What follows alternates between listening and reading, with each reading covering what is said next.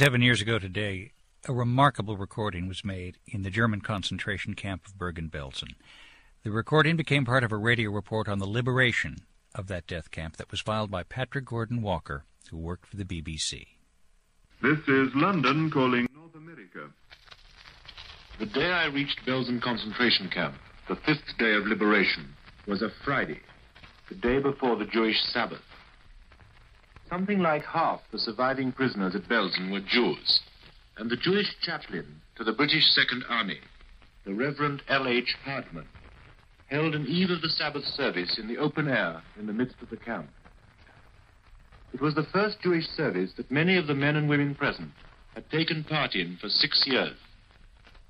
It was probably the first Jewish service held on German soil in absolute security and without fear for a decade. Around us lay the corpses that there had not been time to clear away, even after five days. 40,000 or more had been cleared, but there were still one or two thousand around.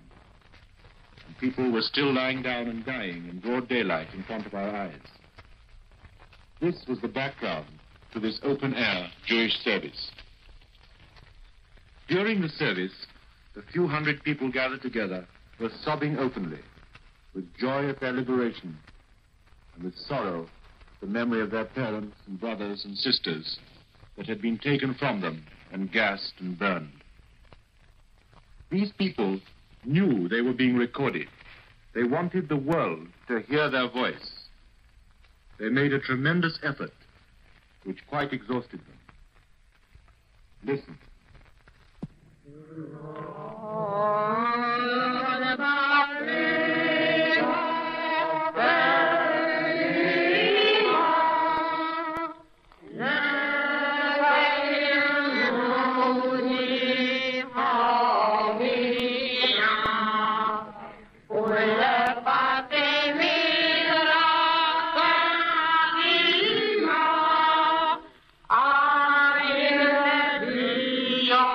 Am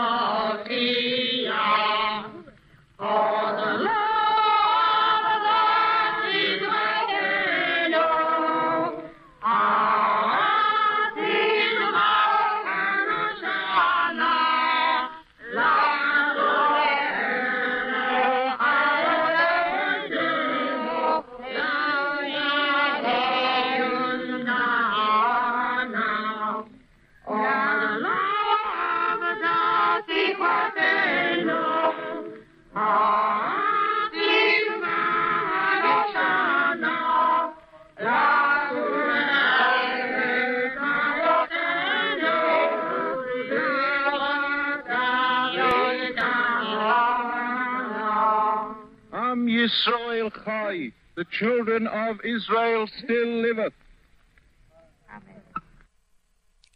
Survivors of Bergen-Belsen singing Hatikva at Shabbat services on April 20th, 1945, following their liberation by British troops of the Second Army. That transcription of a shortwave broadcast was made in New York City by Moe Asch.